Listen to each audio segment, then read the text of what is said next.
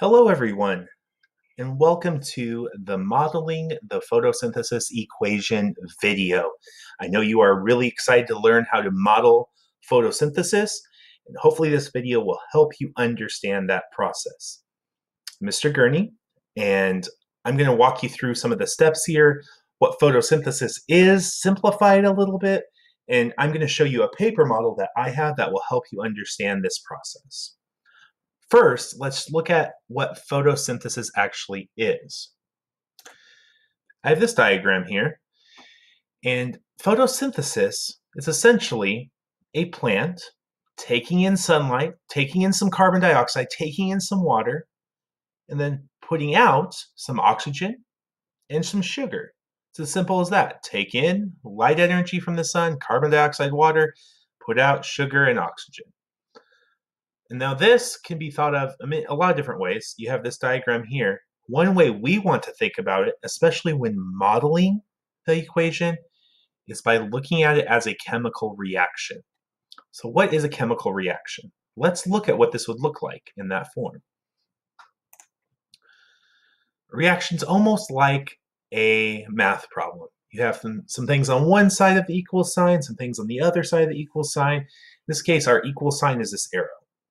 So you have some carbon dioxide plus some water plus some light energy, and all that's going to equal some sugar and some oxygen. You're probably thinking, well, how does that even happen? And why do we want to model it? We want to look at the molecular level of what's going in to this process. And that's what we're trying to model. So let's look at this on a little bit deeper level.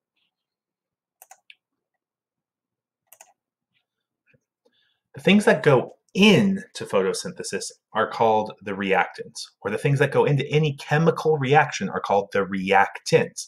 They are what react. What comes out are the products. That's what's being produced.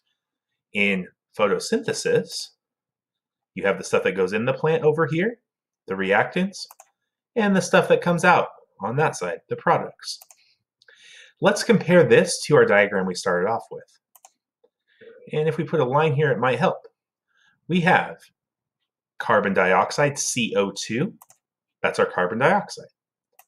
We have H2O, our water, right here. We have sunlight energy right here.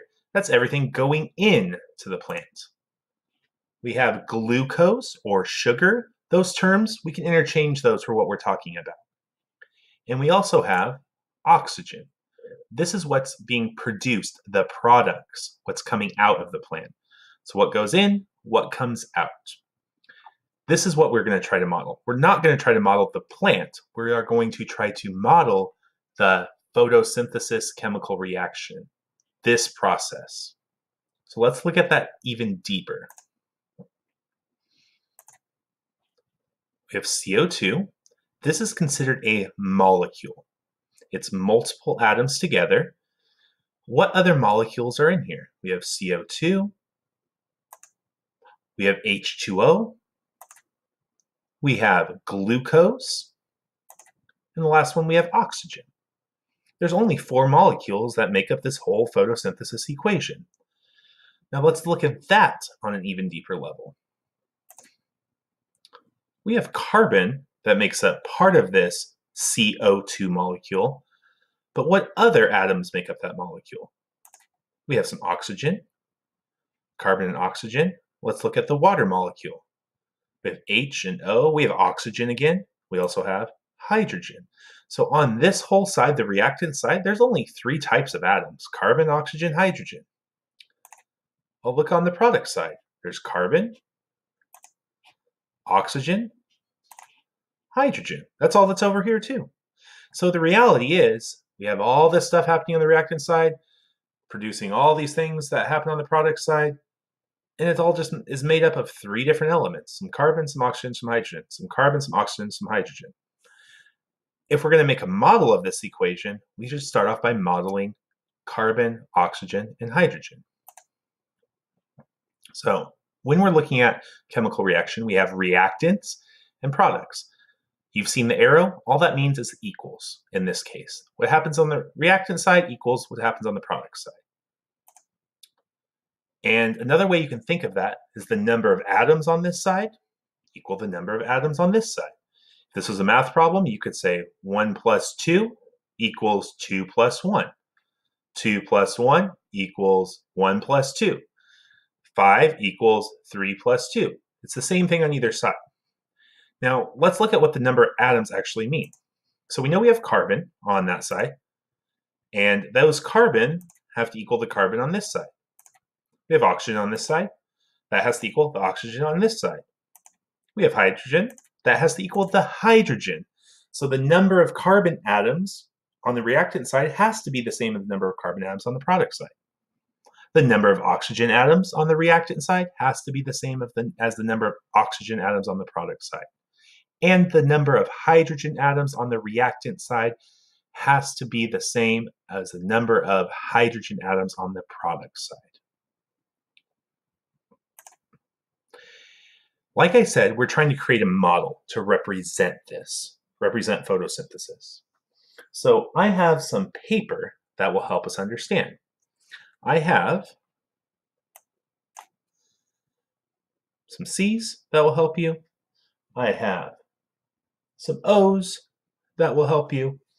And I have some H's. Because photosynthesis is just made up of some C's for carbon, some O's for oxygen, some H's for hydrogen. That's all that's in photosynthesis. Let's see if this can we can break this down and actually model this. So I'm going to go between the camera view and what's on the screen. Okay, let's under, see if we can understand each molecule first. We said there are four molecules in the photosynthesis equation. Carbon dioxide, CO2, water, H2O, sugar or glucose, C6, H12O6, and oxygen, O2. If we look at this CO2 molecule and we want to actually break that down to the number of atoms, that would be one C, two O's, one carbon atom, two oxygen atoms. So CO2.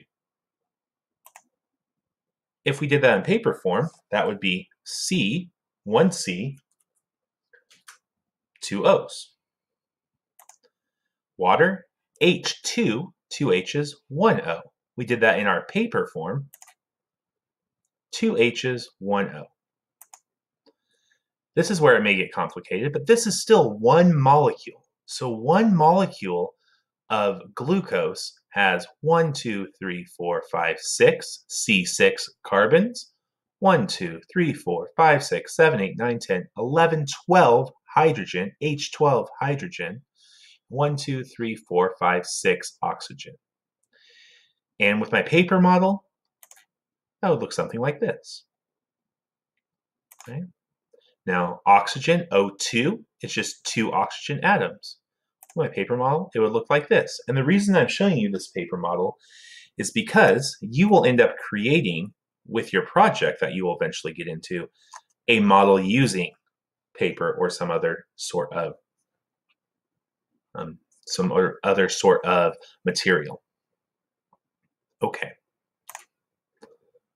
Let's go back to the actual equation. And if we use our paper version, you could see that CO2, CO2 would look something like that. And I'm going to put it on the paper right here. CO, that's O2, so that would look like that, CO2.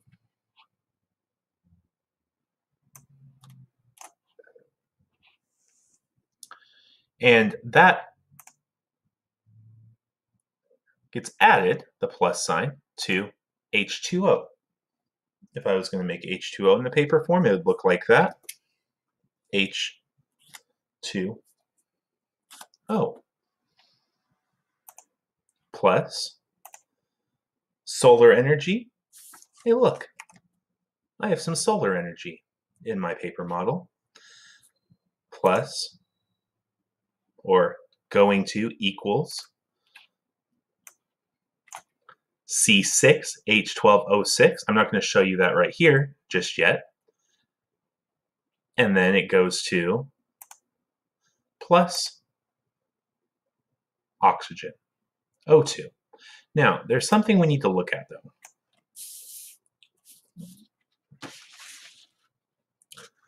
When we are writing out this equation, when we're modeling this equation, when we're trying to show the molecules of this equation, it's not just CO2 plus H2O plus solar energy equals C6H12O6 plus O2.